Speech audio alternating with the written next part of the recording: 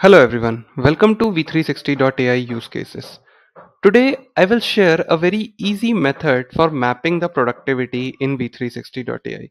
I will quickly explain this feature. We360.ai enables you to map the applications or URLs used by your employee as productive and unproductive and you can get a productivity report on that. But when you onboard a new account, this section will be blank because you need to map the applications as productive and unproductive according to the working nature of your employees. Here our ai module helps you where the applications or url are automatically categorized into some predefined labels. And you can make these labels as productive and unproductive accordingly. So you can see here that uh, in-house tools internet knowledge management these are the predefined label where the application and url get mapped automatically. Just for example if we take meeting so ms team is automatically done here. And if you go to urls you will see that meet.google.com zoom urls and so on these are automatically categorized under meeting label. Now for your employees if taking a meeting is a productive thing you can make this label as productive or unproductive accordingly. For the same, if you can go to settings from the left side panel, there is an option for productivity rules. So this will work in two segments basically. First, you create an application policy. The application policy will enable you to categorize uh, the applications under the predefined labels and these labels can be made as productive and unproductive. I will just create a new application policy for you So here it is. You will simply click on this policy name and you will see all the categories here. So just before we have seen that meeting was a productive thing. So I will just simply search meeting here and make it productive. Same way analytical application like Excel, Google Chrome, Google Meet and so on. These will be under analytics category. Banking and finance. So all the finance related thing calling in phone if it is productive or unproductive for you chat and messaging you can have your in-house chatting tool um, labeled under here designing application developer application like github e-commerce is simply like uh, amazon or anything uh, like from where you do shoppings and all education website so if you have any in-house lms learning management solution available in the company you can map it under education category and make it productive Email obviously is productive for all the organization. File sharing, gaming is obviously unproductive. Hiring and recruitment, this can be productive for only the HR team and rest of the team it can be unproductive. In-house tool we usually suggest to make it as productive for the people. And in the same manner, you can categorize all these.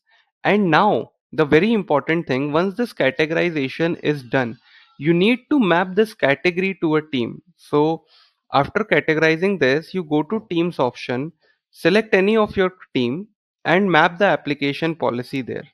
Then only the productivity mapping, uh, the new policy the, or the productivity report will start working. So this is the first phase of productivity mapping which we have done. We have uh, some predefined categories. Applications are automatically moved into the predefined categories and you make the categories as productive, unproductive accordingly. But our AI module cannot map all the applications as productive and unproductive. You need to do that uh, for your account. So one good thing is we can map uh, older applications uh, like the backdated data uh, as well for you. So you come to this mapping part and select last 30 days. So last 30 days data will be updated accordingly. Now from the left side panel, you will find a analytics section where you will have this apps and URL section available. You open it in a new tab just have two adjacent tabs here. So now you go to application and URL section from the top right you will go to detailed and you will find a unmapped category available here. So these are the applications and URL if your employees are spending time on that then their time will be going into neutral time. It is neither marked as productive or unproductive. Same goes for URLs as well. So now I will simply copy this URL and keep on mapping. also, one important thing is so we usually suggest our client to only map the application or URL where they spent time. So in front of every application and URL, you will have this spent time available here. So collectively, all the employees onboarded in this account, this much of time they are spending on this mponline.gov.in or whatever URL you get to see. So we suggest our client to only map the URLs where the spent time is at least more than 30 minutes. Then only you will have a concrete report. Even though there are URLs where you can see the spent time is 5 minutes or somewhere in seconds, 1 minute. So mapping these application is not going to make a very big difference on your overall productivity report. So how to map it? I will simply suppose this is dte.mponline.gov.in. This is not something which is productive in our company. So I will simply copy this URL, go back to the productivity mapping tab which we have opened earlier. I will search this URL here and I will map it in an undefined category. Why? Because this undefined category, I have made it as unproductive for my team. So I will make it unproductive now. So now any person spending time on this dt.mponline.gov.in, their time will go into unproductive time. Next, let us pick any other URL, just for example, yeah, uh, streamyard.com. So this might be something uh, our designing team might be uh, using it. So this is a productive thing. So I will map it under the design application. So I will go back to that tab. I will search it again here.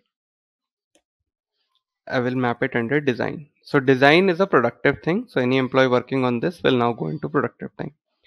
Same thing I will do for some applications as well. I will go back to apps under undefined category, unmapped category only. I will go back to maps. And now I find this application to be used. And frankly, I don't know what this application does. So in the logs, if I sort out the duration, so mm, ZS Myzen V2S reinstall, cleanup file, reinstall, and so on so i think my testing team is using this application. So we uh, like Myzen is our in-house desktop application and our testing team used to test all the new builds launched by the tech team. So this is something related to testing and the developer part. So i will copy this and i will map this application under developer which is a productive thing to do. Yeah.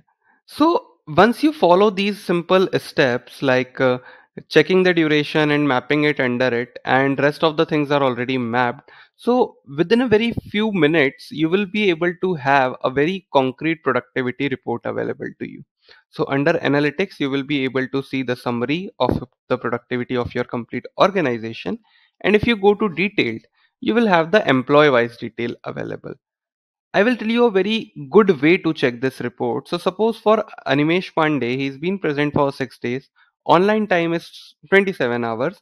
Productive time is 25 hours in the last 7 days. And unproductive time is 1 hour 15 minutes. Now, if you want to know which are the productive applications this person has used or which are the unproductive applications the person has used, you will simply hover on employee name. You will click on view user detail. And there is an option for apps and URL.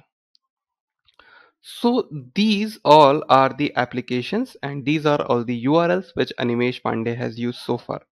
Now if you more sc scroll down more you will get to see if the application where the employee is spending time is marked as productive for them or not.